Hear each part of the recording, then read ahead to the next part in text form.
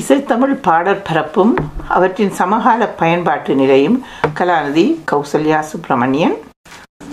பகுதி நாலு. இக்கட்டுரை தொடரில் தமிழில் கீர்த்தனைகளை பாடிய முதல்வர்கள் வரிசையில் அமைந்த தமிழிசை மூவர்களான முத்துத்தாண்டவர் மாரிமுத்தா பிள்ளை அருணாசல கவிராயர் ஆகியோரில் காலத்தால் முற்பட்டவரான முத்துத்தாண்டவரின் தனி கீர்த்தனைகள் சிலவற்றை முன்னைய கட்டுரையில் நோக்கினோம். இக்கட்டுரையிலும் அத்தகவல்கள் பற்றிய பார்வையே தொடர்கின்றது.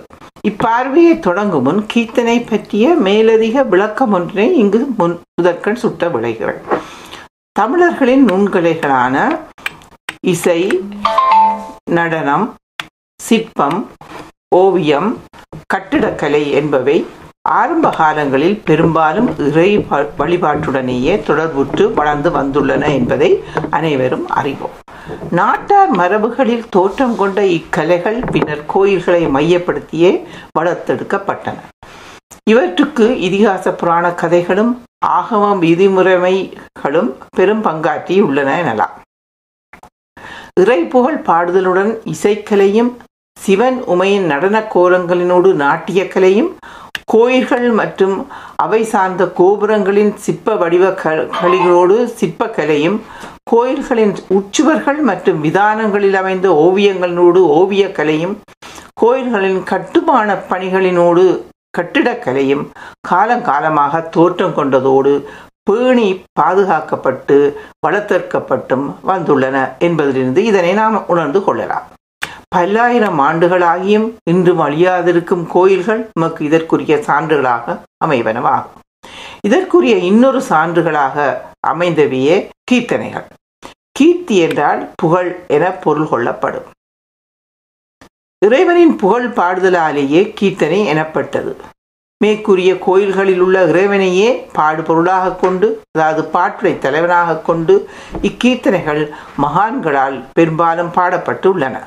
இறை அனுபவம் வாய்க்கப்பெற்ற மகான்களால் பாடப்பட்டதால் இக்கீர்த்தனைகள் இன்றும் நீடித்து நிலைத்து நிற்கின்றன எனலாம் அவ்வகையில் அமைந்த இக்கீர்த்தனைகளில் பாடப்பட்ட முத்துத்தாண்டவரின் கீர்த்தனைகளை தொடர்ந்து நோக்குவோம். உரை நம்பினேன் ஐயா சரணம் நான் என்னும் பல்லவியில் தொடங்கும் இக்கீர்த்தனை கீரவாணி ராகத்தில் ஆதி தாளத்தில் அமைந்ததாகும். சீர்காழி மூவர் கீர்த்தனை முதல் பாகம் பக்கம் முப்பத்தாறு தொடக்கம் முப்பத்தொன்பது. மூன்று சரணங்களையுடைய இக்கீர்த்தனையானது இறைவனின் இயல்புகளை பல்வேறு புராண கதைகளினோடு விவரிப்பதாகும். அவ்விரவரையே நம்பி வந்து சரணடைவதாக இக்கீர்த்தனையின் பல்லவி அமைகிறது. பல்லவி அடிகள் திரும்ப திரும்ப ஒவ்வொரு சரணம் பாடிய பின்னரும் பாடப்படுவதிலிருந்து மேற்படி நம்பிக்கை உறுதிப்படுத்தப்படுகிறது. முதற் சரணத்தில் திருநாவல் ஊரன் விடுதூதா என்ற அடித்தொடரால் சுந்தரருக்கு தூது போன செய்தியும் எழுபுவி துதுகின்ற துய்யா என்ற இரண்டாவது சரண அடித்தொடரால் ஏழு புவனங்களும் சிவனை துதிக்கின்ற சிறப்பும் நெடிய மால் அயன் தேடி காணா என்ற மூன்றாவது அடித்தொடரால் அடிமுடி தேடிய வரலாறும் இதில் கூறப்படுகின்றன. மூன்று சரணங்கள் கொண்ட இக்கீர்த்தனையை எம். எம். தண்டமாடி தேசிகர் அவர்கள் நூற்பிரகாரத்தில் உள்ளவாறே ஆதி தாளத்திலும் கீதவாணி ராகத்திலும் பாடி சிறப்பித்துள்ளார்கள். இக்கீர்த்தனையில் வரும் மூன்று சரணங்களில் மழுவிடை தரிக்கின்ற கையா கொன்றை மலர் மாலை என்ற தொடர்க்கத்தை உடைய இரண்டாவது சரணத்தையே அவர் பாடுவதற்கு எடுத்துள்ளார். கீழ்வரும் இணைப்பில் இதனை கேட்கலாம். இதே கீர்த்தனையை ஸ்ரீமதி விஜயலட்சுமி சுப்பிரமணியம் அவர்கள் விரிவான ஆலாபனையுடன் தொடங்குகிறார். இவர் மூன்றாவது சரணத்தை பாடுகிறார். பின்னர் அச்சரணத்தின் மூன்றாவது அடியில் உள்ள எழுப்புவி துதிக்கின்ற துய்யா என்ற தொடரை நிரவலுக்கு எடுத்துக் கொள்கிறார். நிரவலை பாடியதன் பின்னர் அவ்வடியிலேயே முதற்காலத்திலும் இரண்டாவது காலத்திலும் விரிவான அதாவது விஸ்தாரமான ஸ்வரங்களை பாடி இக்கீர்த்தனையை சிறப்பிக்கிறார். இறுதியில் மிருத மிருதங்கத்திற்கும் தனி ஆவர்த்தனம் வாசிப்பதற்கு இடம் கொடுத்து கச்சேரியை களை கட்ட வைக்கிறார். இதன் இணைப்பில் கேட்க இந்த பாடலை. நாமகிரி பேட்டை கிருஷ்ணன் அவர்களும் அவர் குழுவினரும் நாதஸ்வரத்தில் மேற்படி கீர்த்த கீரவாணிராக ஆலாய்வனுடன் இக்கீர்த்தனையை வாசிக்கிறார்கள்.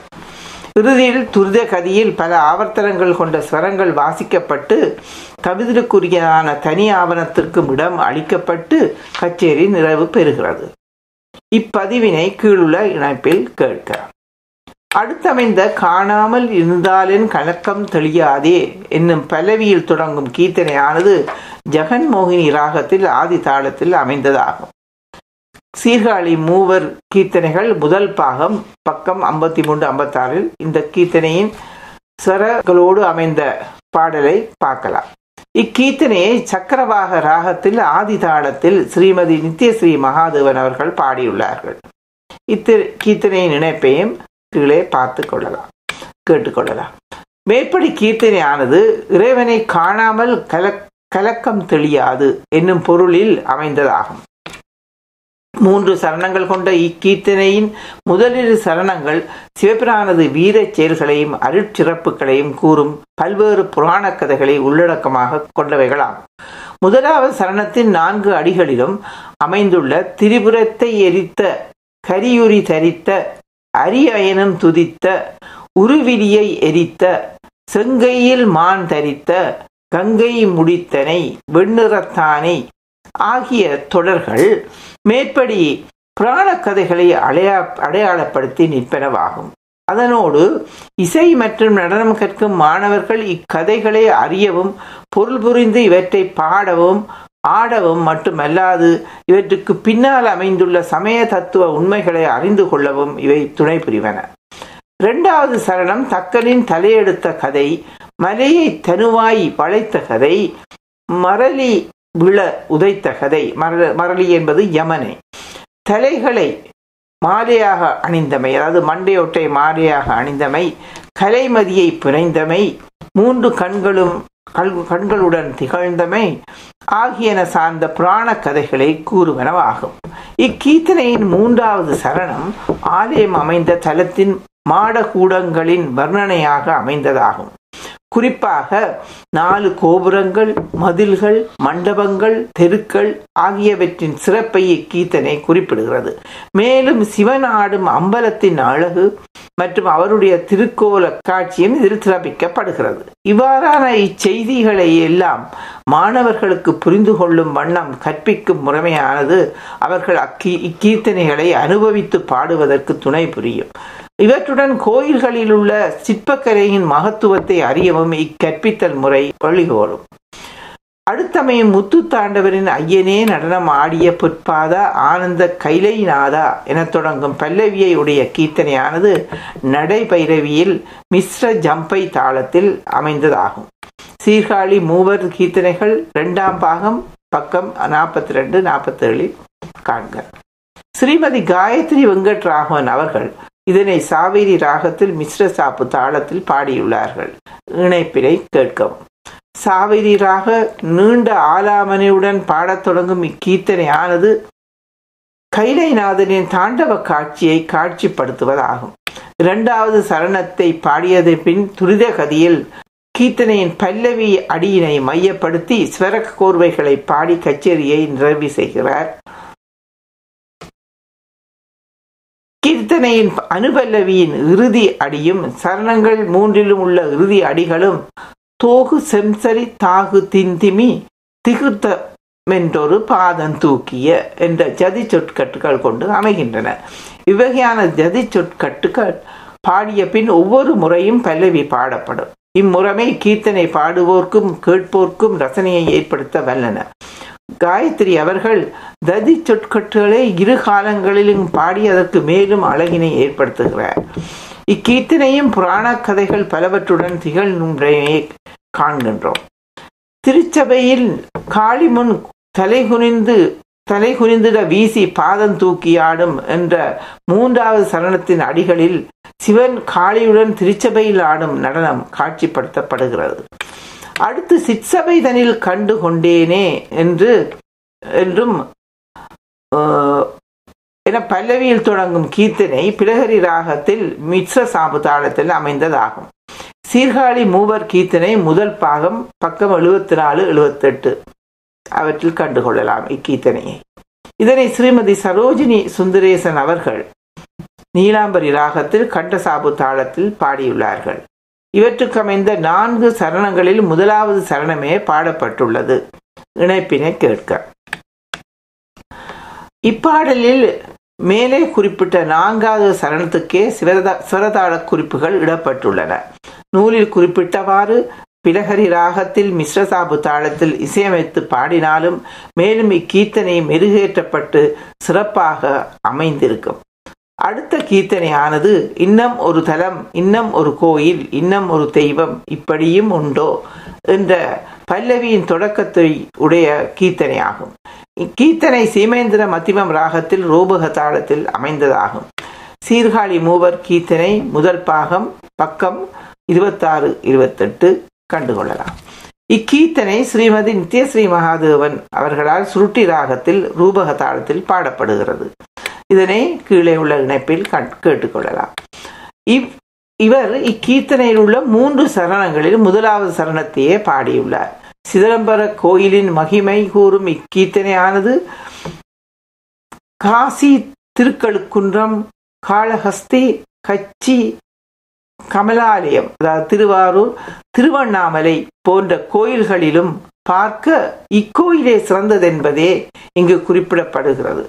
மேலும் சந்திரன் சூரிய சந்திர சூரிய மண்டலங்கள் இந்திரலோகம் கைலாசம் வைகுந்தம் முதலிய விண்ணவர் உலகங்களை விடவும் சிதம்பரத்தலம் மேலானது மேலானதென்பதாக அக்கால சைவ மரபினர் கொண்டிருந்த நம்பிக்கையும் இக்கீர்த்தனை மூலம் உணர்ந்து கொள்ள முடிகின்றது.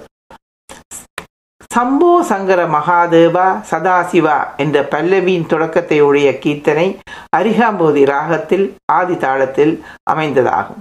சீர்காழி மூவர் கீர்த்தனை இரண்டாம் பாகம் பக்கம் அறுபத்தொன்பது எழுபத்தொன்று.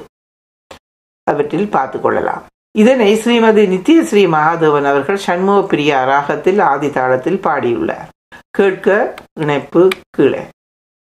மூன்று சரணங்கள் கொண்ட இக்கீர்த்தனையின் அணுவல்லவியின் இறுதி சொற்றொடரும் சரணங்கள் ஒவ்வொன்றின் இறுதி சொற்றொடர்களும் ஒரே அமைப்பில் அரஹர சிவ என்பதாக அமைவதை காணக்கூடியதாக உள்ளது. இது இசைப்பாடலுக்குரிய பொது இயல்பாகும். அரஹர சிவ சம்போ சங்கர மகாதேவா என ஒவ்வொரு முறையும் பல்லவி பாடப்படுகிறது.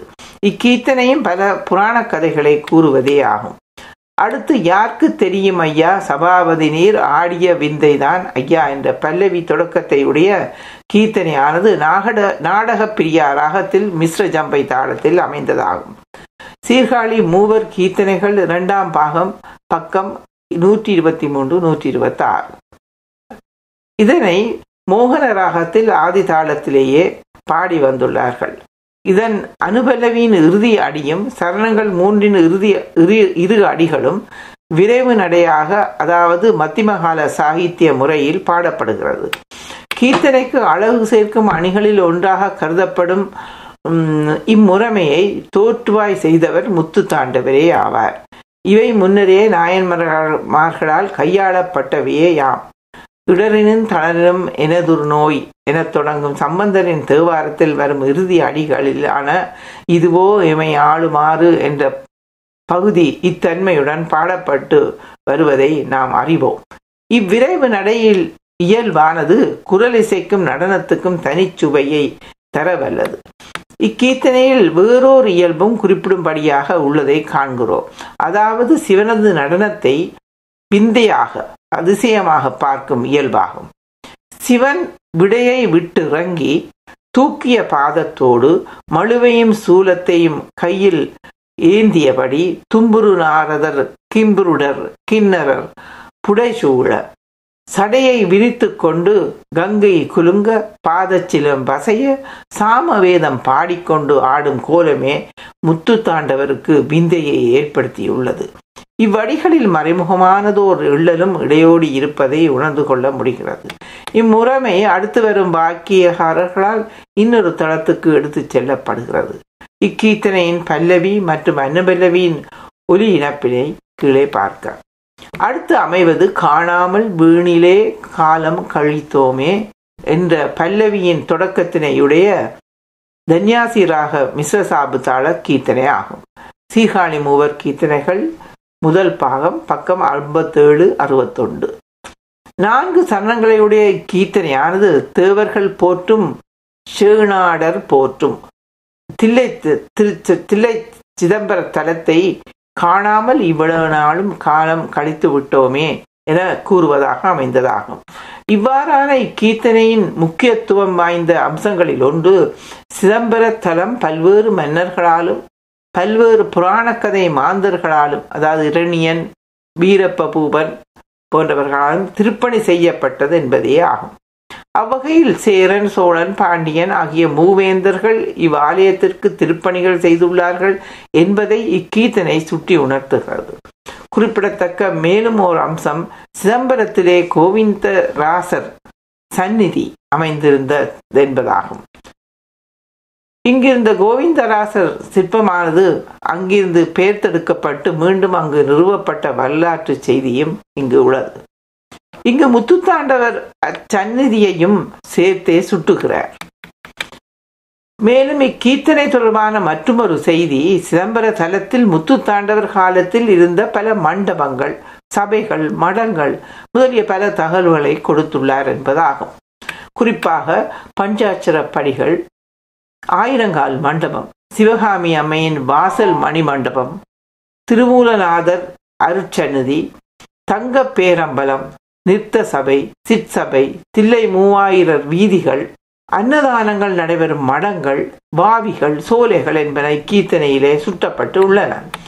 சிக்கில் குருசரன் அவர்கள் நீலாம்பரி ராகத்தில் ஆதிதாளத்தில் பல்லவி அனுபல்லவி என்பவற்றை பாடியதன் பின்னர் இரண்டாவது சரணத்தை முதலில் பாடுகிறார். பின்னர் முதலாவது சரணத்தை பாடி முடித்துக் கொள்கிறார்.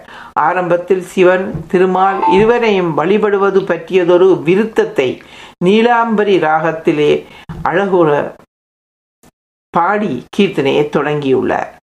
கேட்க இந்த இந்த பாடலின் இணைப்பை கீழே இதனை டி கே பட்டம்மாள் அவர்களும் நீலாம்பரி ராகத்திலேயே பாடியுள்ளார்.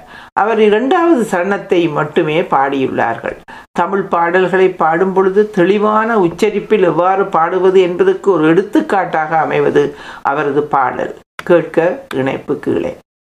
மேற்குறித்த கீர்த்தனையை நூலில் உள்ளவாறே சரசாகித்ய முறைப்படி தன்யாசி ராகத்தில் மிஸ்ரசாபு தாளத்தில் அதன் பல்லவியை ஸ்ரீ அசோக் சுப்பிரமணியம் அவர்கள் பாடியுள்ளார்கள். அவ்வாறு பாடப்படும் பொழுது அதன் உணர்வுகள் மேலும் துலங்குவதை கீழுள்ள இணைப்பினில் கண்டு கொள்ளலாம் அடுத்து அமைவது பத்மஸ்ரீ சீர்காழி எஸ். கோவிந்தராஜன் அவர்களால் பாடப்பட்ட மாயவித்தை செய்கிறானே அம்பலவாணன் என என்ற கீர்த்தனையாகும். சீர்காழி மூவர் கீர்த்தனைகள் முதல் பாகம் பக்கம் நூற்றி இருபத்தொண்டு நூற்றி இருபத்தி நாலு. நூலில் உள்ளவாறே ஹரர பிரியா ராகத்தில் ஆதி தாளத்தில் இவரால் பாடப்படுகிறது. நான்கு சரணங்கள் கொண்ட இக்கீர்த்தனைக்கு முதலில் ஆலாவனை ஒன்றை பாடி முதலாவது சரணத்தை பாடியதன் பின் பல்லவியின் பல்லவி அடியினில் ஸ்வரங்களை துரித கதியில் இரண்டாம் காலத்தில் அதாவது பாடி தாள வாத்தியங்களுக்கும் இடம் கொடுத்து நிறைவு செய்கிறார். இதன் ஒலி இணைப்பினை கேட்க கீழே. முன்னர் நோக்கிய யாருக்கு தெரியும் ஐயா என்ற கீர்த்தனையில் சிவனின் விந்தைகளை கூறிய முத்துத்தாண்டவர் அவர்கள் இக்கீர்த்தனையில் மாயவித்தை செய்வதாக கூறுகிறார். இதற்காக அவர் திருவிளையாடல் என்ற வகையில் பல்வேறு வடிவங்கள் தாங்கி மக்களிடையே வந்து நிகழ்த்திய அருட்செயல்களையே மாய வித்தைகள் என சுட்டுகிறார். இறைவனுடைய வியாபகத்தன்மை படைத்தல் முதலிய செயற்பாடுகள் என்பவை முத்துத்தாண்டவரின் வியப்புணர்வுகளின் வெளிப்பாடுகளாக அமைந்து கீர்த்தனையின் நான்கு சரணங்களிலுமே புலப்படுகின்றன. அடுத்து அமைவது சுந்தர குஞ்சித பாத நிலை கண்டு என்ற பல்லவியை தொடக்கமாக கொண்ட கீர்த்தனை ஆகும் இது ஆரவி ராகத்தில் ஆதி தாளத்தில் அமைந்ததாகும். சீர்காழி மூவர் கீர்த்தனைகள் முதல் பாகம் பக்கம் நூற்றி இருபத்தொன்று நூற்றி இருபத்தி நாலு. இதனை ஹரப்பிரியா ராகத்தில் ஆதி தாளத்தில் பி ஏ பெரியனாகி அவர்கள் பாடியுள்ளார்கள். சுருக்கமான ஆலாவனையில் தொடங்கி கீர்த்தனையின் மூன்று சரணங்களில் மூன்றாவது சரணத்தை பாடியதன் பின் சில ஆவர்த்தன ஸ்வரங்களை துரிதகதியில் பாடி நிறைவு செய்கிறார். இதனை இணைப்பினில் கேட்க நடனமாடும் சிவனது பாதத்தினை வணங்கி தொண்டுகள் அனைத்தையும் செய்ய வேண்டும் என கூறுவதாக இக்கீர்த்தனை அமைந்துள்ளது. இதன் சிறப்பாய் அமைவது சிவபிரானது திருவடியின் சிறப்பை எடுத்துரைக்கும் முறைமையாகும். மூன்று சரணங்களிலும் இத்திருவடி சிறப்பே கூறப்படுகிறது. அவ்வகையில் திருமால் சிவபிரானது அடி தேடிய புராண கதை கண்மலரால் பூஜை பூஜை செய்த கதை ராவனுடைய கர்வத்தை அடக்கிய கதை வியாக்கிரவாதர் பதஞ்சலி போன்றவர்களால் வழிபடப்பட்டு வருகின்ற கதை மார்க்கண்டேயருக்கான யமனை உதைத்த கதை முதலியவற்றை சுட்டுவதன் மூலம் சிவனது திருவடிவ பெருமை மூன்று சரணங்கள் வாயிலாக விதைந்துரைக்கப்படுகிறது. அடுத்து ஆடினதெப்படியோ நடனம் நீர் என்ற பல்லவியின் தொடக்கத்தினையுடைய கீர்த்தனையானது கல்யாணி ராகத்தில் ஆதி தாளத்தில் அமைந்ததாகும்.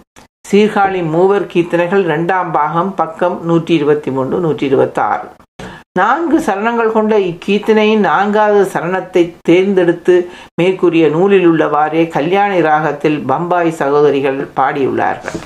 கேட்க கீழ் அமைந்துள்ள இணைப்பில். பல்லவியில் அமைந்த ஆடியதெப்படியோ நடனம் நீர் என வரும் கேள்விக்கு விளக்கம் அதாவது வியாக்கியானம் கொடுப்பதாக இக்கீர்த்தனையின் ஏனைய பகுதிகள் அமைகின்றது. அதாவது சிவபிரானின் மெய்ப்பொருள் நிலையை எல்லாவற்றையும் கடந்த இறைநிலையை விதைந்துரைப்பதாகும். இறைவன் எல்லாவற்றையும் கடந்தவன் என்பதை சொல்வதற்காக முத்துத்தாண்டவர் பல்வேறு கூற்றுக்களை முன்வைக்கிறார்.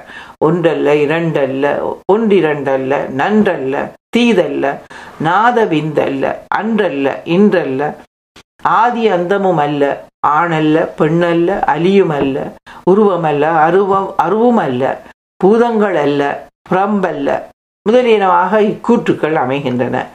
நேதி நேதி என இதனை பிரகதாரண்ய உபநிடதத்தில் ஞாக்கியவல்யர் கூறுவது இத்தொடர்பில் நோக்கத்தக்கது. இவ்வாறு எல்லாவற்றையும் கடந்தவனாக சிவனை பேசும்போதே அவனை சக்தியாகிய இறைவியுடனும் இணைத்து பேச வேண்டிய தேவையை அவர் உணர்கிறார். அதற்கேற்க வகையில் ஒவ்வொரு சரணத்தின் இறுதி அடியிலும் இறைவியை இணைத்துக் கொள்கிறார்.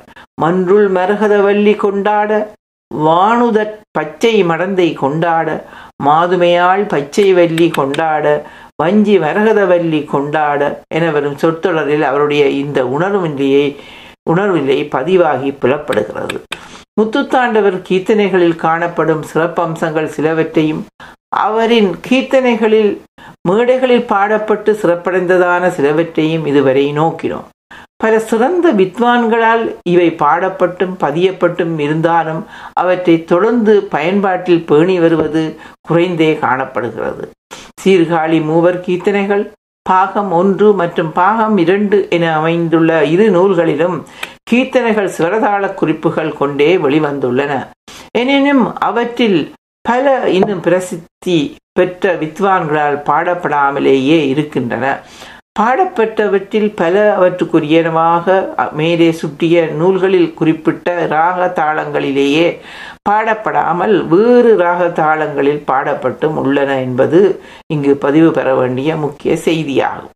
மேலும் பாடப்படாமல் உள்ள கீர்த்தனைகள் தகுந்த இசையாளர்களை கொண்டு இசையமைக்கப்பட்டு பாடப்பட வேண்டும்.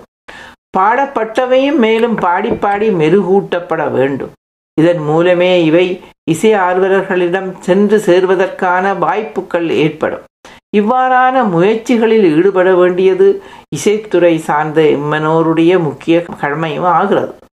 அடுத்து முத்து தாண்டவரின் பதங்கள் என்ற வகைசார் உருப்படிகள் தொடர்பான சில குறிப்பொன்றை இங்கு முன் முன்வைக்க விளைகிறேன் பதங்கள் எனப்படுபவை வடிவ நிலையில் கீர்த்தனைகள் போல் பல்லவி அனுபல்லவி சரணம் ஆகிய உறுப்புகளை கொண்டமைவனமாகும் உள்ளடக்க நிலையிலேயே அவை வேறுபடுகின்றன. கீர்த்தனைகள் புகழ் பாடுதல் என்ற பொருண்மை கொண்டவை என்பதை முன்னரே நோக்கியுள்ளோம். பதங்கள் எனப்படுபவை காதற் பாடல்களாகும். குறிப்பாக இறைவனுக்கும் ஆன்மாவுக்கும் இடையேயுள்ள உறவை மானுட காதல் நிலையில் வைத்து கற்பித நிலையில் பாடப்படுபவை அவை. ஆன்மா என்ற பெண் இறைவனை நாயனாக கருதி தன் காதல சார் உணர்வுகளை வெளிப்படுத்துதல் என்பதே பதம் எனப்படும் பாடல் வகையின் உள்ளடக்க அம்சமாகும் இங்கு பாடுபவர் தன்னை பெண்ணாக நினைத்து கற்பித நிலையில் நின்றே பாடுகிறார்.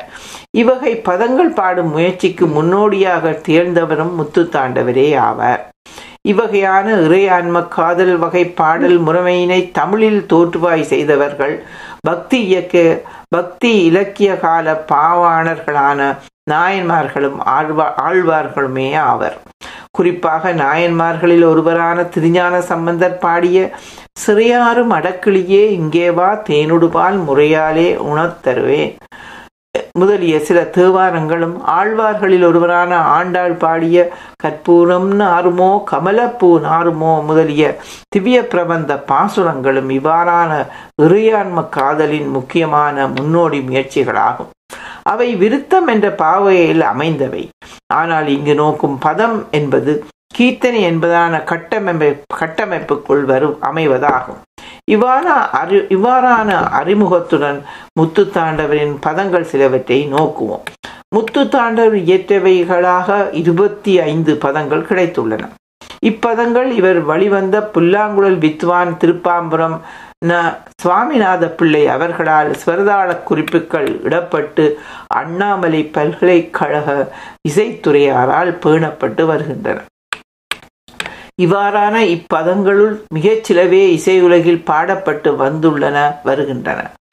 குறிப்பாக தெருவில் வாரானோ என தொடங்கும் கமாஸ் ராகத்தில் ஆதி தாளத்திலும் அமைந்த பதமும் இத்தனை துலாம்பர இத்தனை துலாம்பரமாய் எனத் தொடங்கும் தன்யாசி ராகத்திலும் ஆதி தாளத்திலும் அமைந்த பதமும் இசையுலகில் பரவலாக அறியப்பட்டவைகளாகும்.